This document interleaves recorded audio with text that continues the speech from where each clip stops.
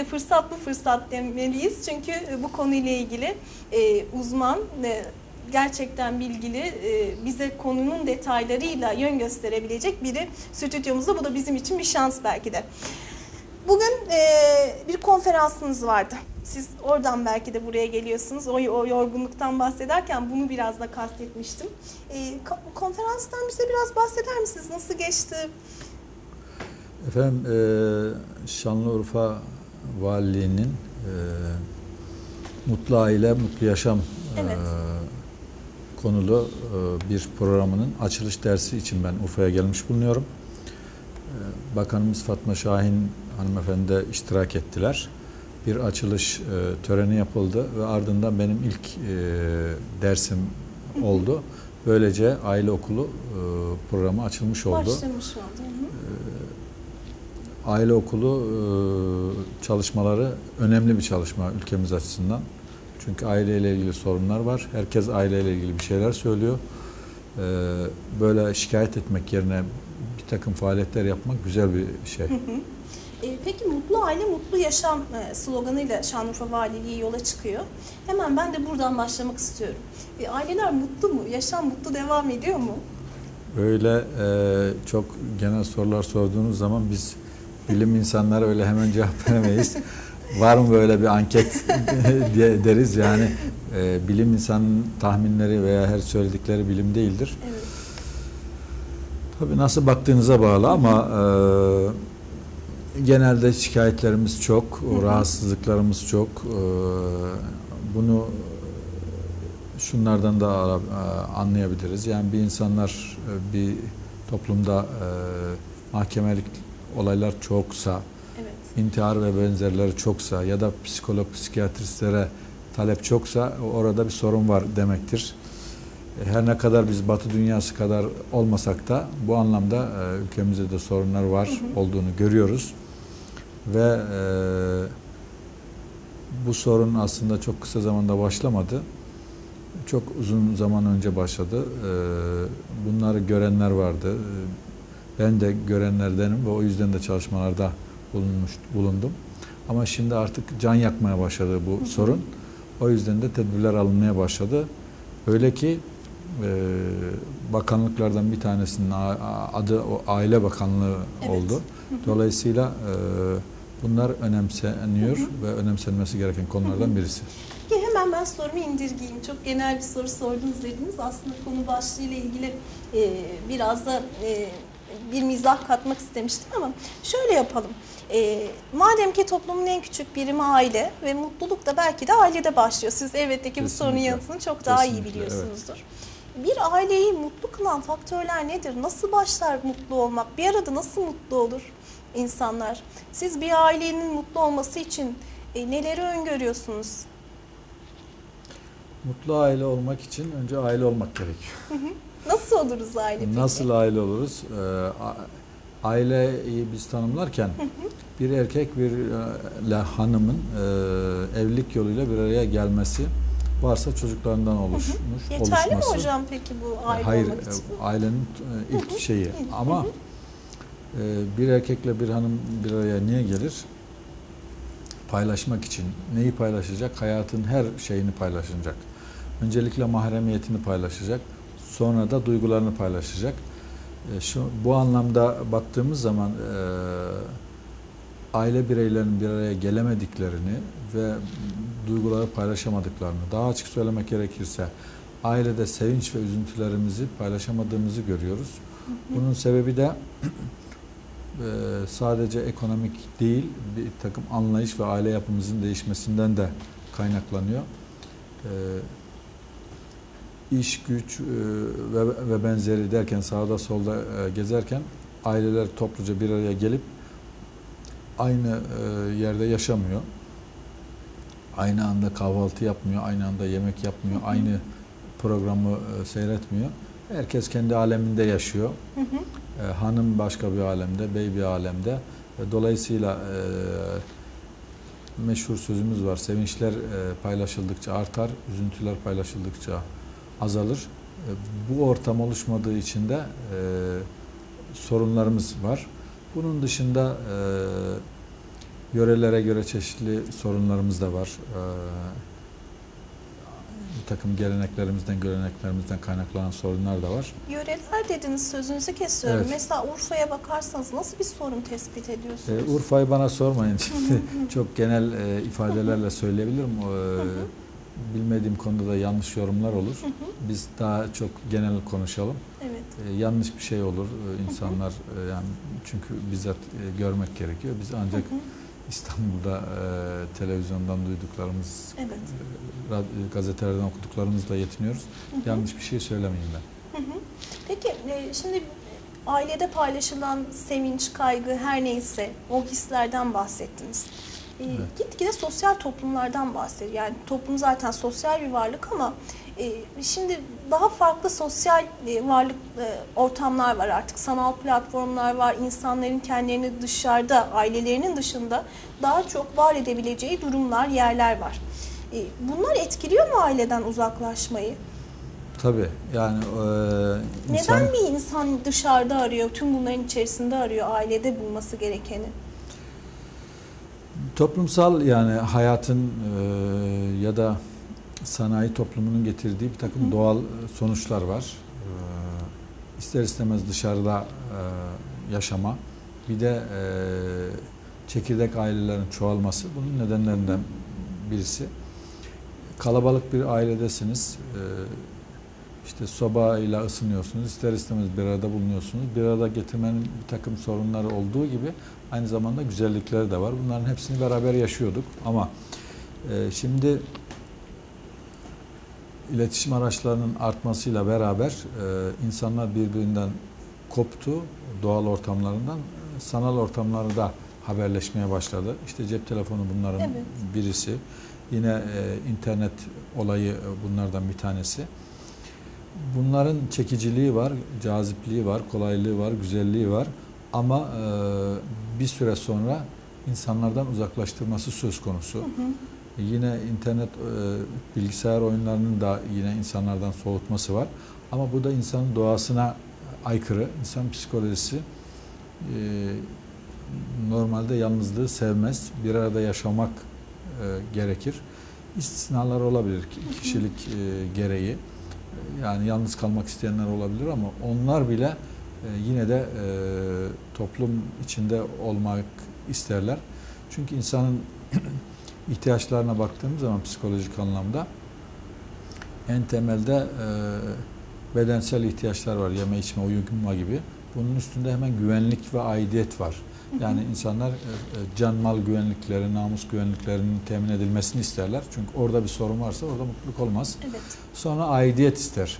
Yani e, nedir? Bir aileye mensup olmak, bir şehre mensup olmak, bir ülkeye, bir millete e, veya din açısından bir dine mensup olmak insanlara mutluluk verir. Bunun hemen arkasından insanların ihtiyaçlarına sevgi, saygı gelir. E, eğer sevgi yoksa, insanlar sevilmek, e, sevgiyi göremezlerse, tadamazlarsa, yaşayamazlarsa burada da sıkıntılar yaşar. E, insanoğlu e, hem çok büyük, yüce bir varlıktır ama aynı zamanda çok da basit bir varlıktır. Örnek olarak vereyim. Yolda giderken e, birisi size e, rastlasa ve dese ki ya şunu adamın kıyafetine bak dese e, boş ver der geçersiniz ama işin kafanızın bir tarafında da hemen Devam kalır. eder değil mi? Halbuki ne dedi ki yani? Hı hı. Bir şey demedi bu kıyafet yakışmamış dedi. Ondan etkilenir insanlar. Ee, hani hastalık hastası diyorlar. Yani birisi sana ne o ya yüzün sararmış bir hastalık mı var dedi Doğru. diye hasta olduğu gibi. Ne kadar etkileşimli bir varlık Yani çok, değil mi? Evet. Çok basit bir şey. Hı hı. Veya e, insan günlük e, faaliyetlerine devam ederken bir teşekkürün ya da bir surat asmanın ne kadar etkilediğini biliyoruz. Evet.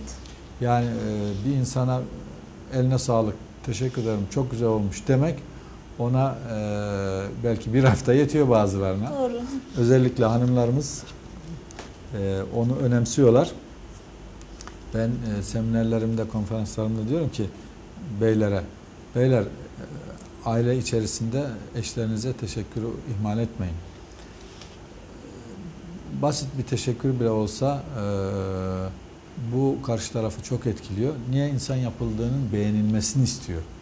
Biraz önce ihtiyaçları e, Evet. sıraladık ya sevgi, saygı e, ve itibar görmek istiyor. Yaptıklarının beğenilmesini istiyor. Aksi takdirde bir amacı yok ki.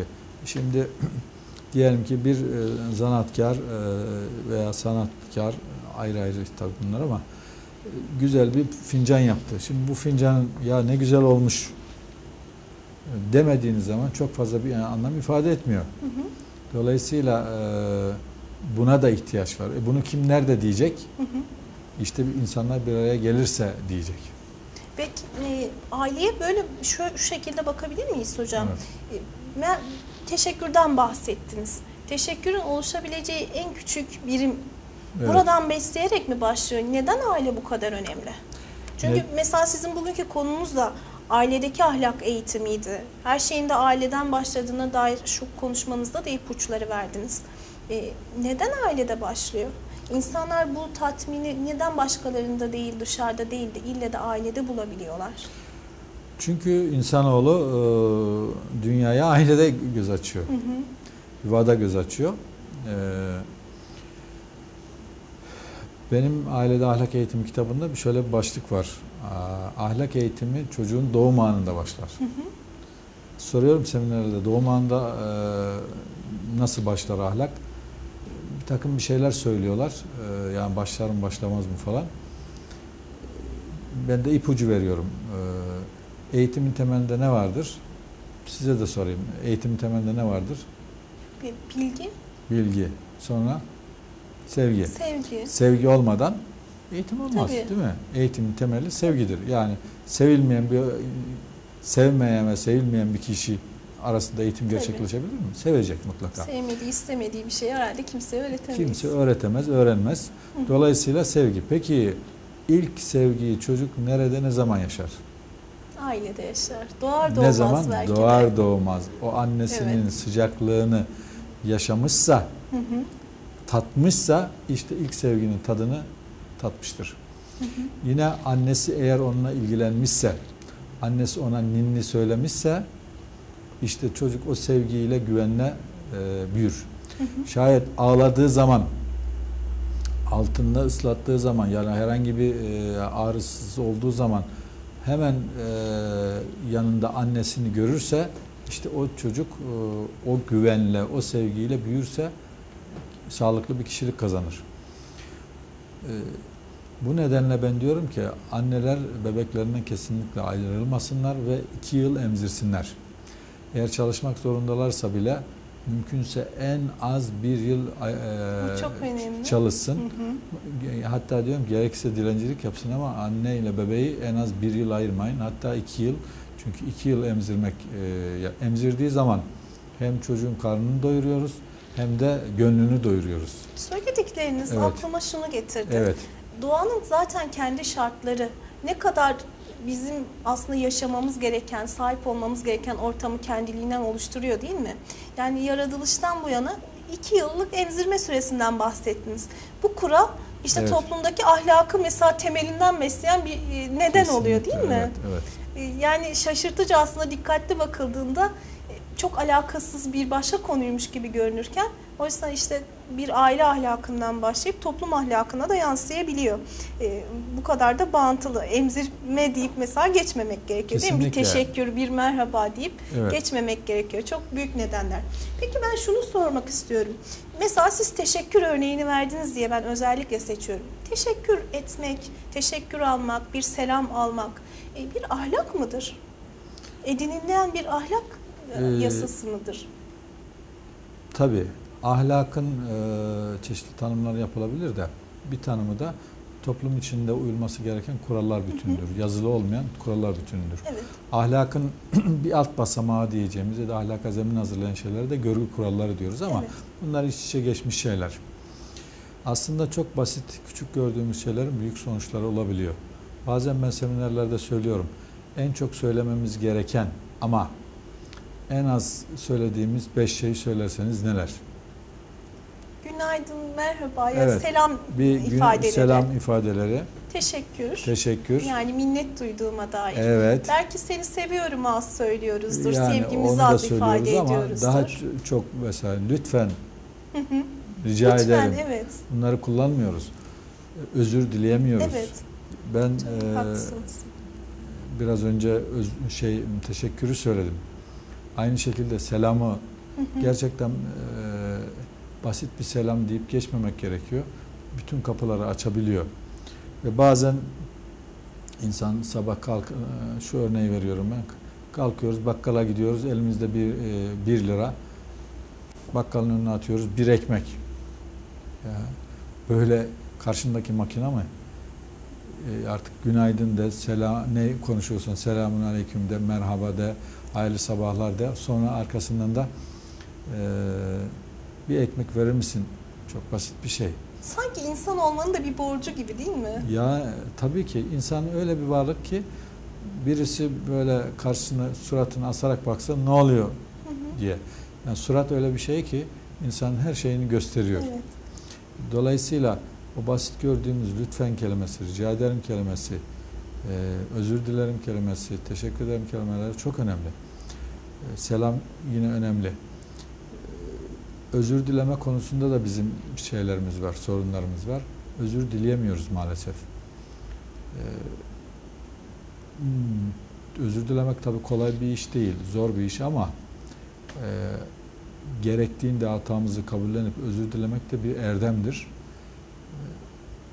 Şimdi toplumumuzda son zamanlarda ben meleklerin çok arttığını düşünüyorum. Melek derken e, melek gibi insanları Hı kastediyorum. hı.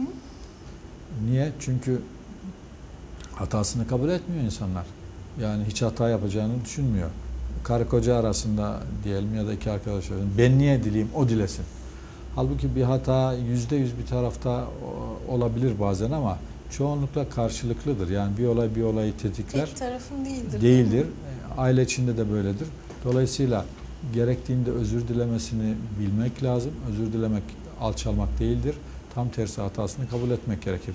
Tabi asıl olan özür dileyecek konuma girmemek, e, hata yapmamak ama insanız, hata yapabiliriz. Hata yaptığımız zaman eşimizden özür dilemeliyiz, çocuğumuzdan özür dilemeliyiz, annemizden, babamızdan özür dilemeliyiz, arkadaşımızdan özür dilemeliyiz, mesai arkadaşımızdan özür dilemeliyiz Hı hı.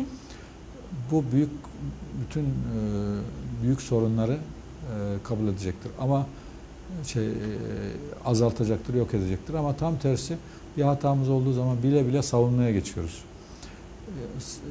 Ve daha komik duruma düşüyoruz. Yani savundukça daha da batıyoruz. Ya zannediyoruz ki biz karşımızdakini ikna edeceğiz. Ben son günlerde şu argümanı kullandım. Kimse kimseyi enayi yerine koymasın. Allah aklı bana verdi de size vermedi mi? Karşımızdakine vermedi mi? Zannediyoruz ki şey e, biz böyle yaparsak o bizi bize kanacak. Kanmıyor. Kanmıyor. Yani Sanrılarla değil değil mi? Hayatın yani gerçekleri yani var. şimdi kimse kimseyi enayi yerine koymasın. hı. Senin anladığını karşındaki de anlıyor. evet. E, sen e, görmemezlikten e, yani karşındakinin görmesinden e, yararlanarak bir takım olaylar gizlediğini zannediyorsun. Tamam bugün gizledin, yarın gizledin. Bir, bir sefer bir defa mutlaka karşısına Hı hı. çıkıyor. Ama hele olay ikisi arasında cereyan ettiği halde bile bile inkar etmek ise o da iyice komik duruma düşüyorsun. Hı hı. Halbuki oturup tartışabilmek, konuşabilmek çok önemli ama konuşamıyoruz da. Peki özürden bahsettiniz. Şimdi bizim toplumumuzda şöyle de bakılabiliyor bazen. E, İşte küçük biri büyükten özür dilemeli.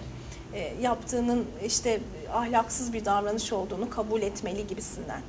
Oysa siz biraz önce işte çocuk babalar çocuklarından, anneler çocuklarından da dediniz. E, Biraz da biz bunu mu kaybediyoruz acaba ailede? Onun için mi kopukluklar yaşanıyor? Bir e, yaş beklentisi mi giriyor araya? Birçok neden var tabii. Onun için ben özellikle ayrıntıya giriyorum ve diyorum ki tek tek sayıyorum. Evet. Ee, hanım e, kocasından, e, beyler hanımlarından, çocuklar anne babalarından, anne babalar çocuklarından özür dileyebilsinler, teşekkür edebilsinler. Hı hı. Yani bunları e, çeşitli nedenlerle yapıyor, yapıyoruz. E, işte anne baba özür dilemez. Erkek özür dilemez, hanım özür dilemez, o dilesin. Tamam dilemesin ama e, sorun kapanmıyor ki. Şimdi insanlar sorunun üzerini böyle kapattıklarını zannediyor. Görünürde ha görünürde sorun yok ama sorun orada duruyor. Şimdi o e, şeyi hatayı tabiri caizse o pisliği temizlemezseniz üstünü örterseniz duruyor. E, birikiyor, birikiyor, birikiyor. Ondan sonra birden patlıyor. Gaz yapıp patlıyor. Dolayısıyla e, sorunları zamanında e, çözmek gerekiyor. Gerekirse özür dilemek. Ama konuşamıyoruz da. Yani biz toplumumuzda bir araya gelip karı koca olarak çocuklarımızla da konuşamıyoruz. Peki neden sizce? Neden konuşamıyoruz? Şimdi bir takım alışkanlıklarımızdan e, olabildiği gibi aramızdaki kopukluklardan e, da kaynaklanıyor. Şimdi asıl e, sorun biraz da aile yapımızın değişmesinden yani e, o eski otoriter herkesin rolünün belli olduğu aile yapısından çekirdek aileye geçmemizden dolayı eskiden herkesin rolü belliydi. Herkes kim ne yaptığını biliyordu. Dolayısıyla e, o rol çerçevesinde görevini yaptığı zaman sorun yoktu. Ama şimdi belirsizlik var. Kimin ne yapacağı da tam belli değil. E, O yüzden konuşamıyoruz. Bir de konuşmayı önemsemiyoruz. Adam gibi konuşamayınca da kavga ediyoruz. Halbuki oturup e, karşılıklı konuşabilmek gerekiyor. Burada e, anne babanın çocuğuyla konuşması, karı kocanın birbiriyle konuşması çok önemli. Bu televizyonun da bilgisayarın da buna etkileri var. E, çünkü evimizde hep televizyon açık ve herkes kendi dünyasında yaşıyor.